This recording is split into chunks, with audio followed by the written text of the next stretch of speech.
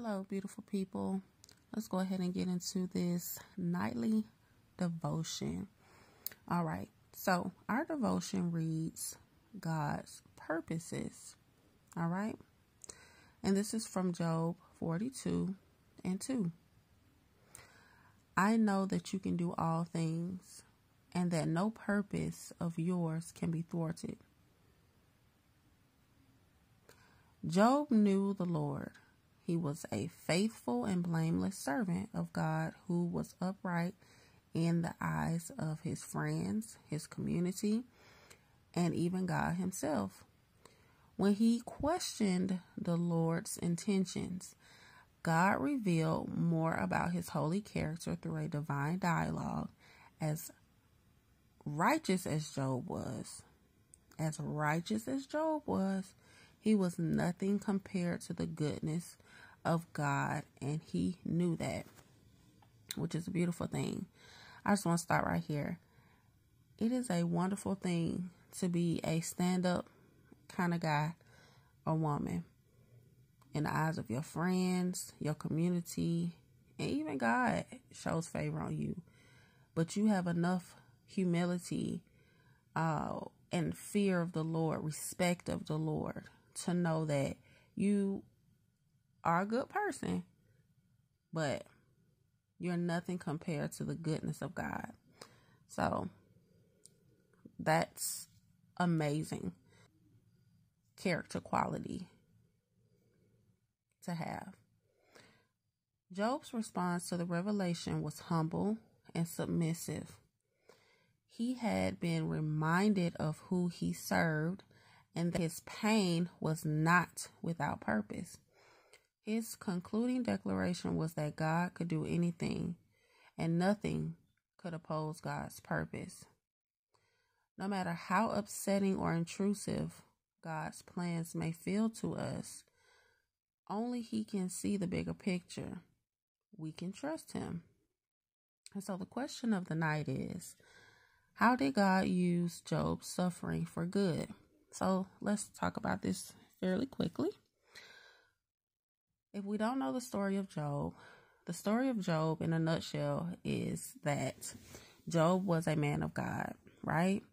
He loved the Lord. He knew the Lord with all of his heart. He was a faithful servant of the Lord. The Bible says that he was blameless, right? Um, all of his friends, everyone that knew him, you know, they knew him to be a stand up kind of guy, honest guy, right? Had everything together, and so, because of Job's faithfulness, the Lord had a hedge of protection around him, right? So the enemy went to God and said, I bet you um, I can get Job to turn his back on you. I can get Job to curse you. And the Lord said, You can't, you know.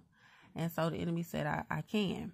So God said, Okay, I'll allow you to do whatever you want to do, but you can't touch Job. So the enemy was like, bet. So the enemy took out his children. He took everything that he owned, everything that had value to Job in his life, he took it out. Right? And so you would think that the things or the people that mean the most to you in the world that are no longer with you are your children, right? The enemy thought that that would be the thing that would have Job to curse God. But Job still did not do that. Enemy said to God, I can't touch Job because you have a hedge of protection over him. So the Lord removed the protection from Job, and that's when Job became gravely ill. And that is when his wife became frustrated with everything that's going on because, mind you, his wife lost her children too. Those were their children. And so, you know, you can imagine the emotion and the grief and everything that she was dealing with as well. And because Job stayed faithful, it frustrated her. And she said, Why don't you just curse God and die? And so, the purpose, I believe, of this story is that, first of all, you stay faithful to the Lord no matter what. Because again, loss is a part of life. And so no one lives forever on this side of heaven. And so that is to be expected, right?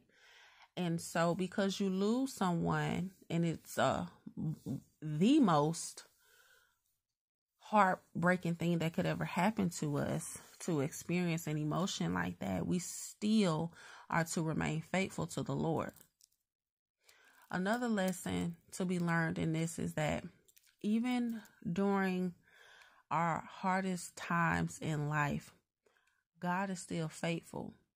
And God will not allow us to go through more than we can handle. And so we can't allow life's troubles, no matter how bad they are or how hurtful they are, to separate us from the love of God. We cannot allow whatever we go through in this life to separate us from the love of God because that is what the enemy wants. And that is why he tried so hard to get Job because he knew that Job's heart was for the Lord. So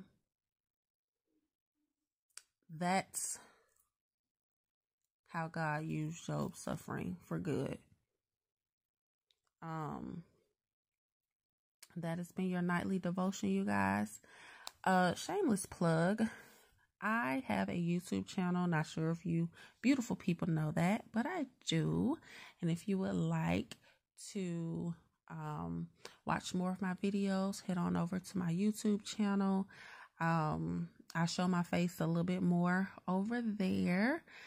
Um, and yeah, please subscribe and if not, then we could just stay friends over here on TikTok. That's fine, no problem.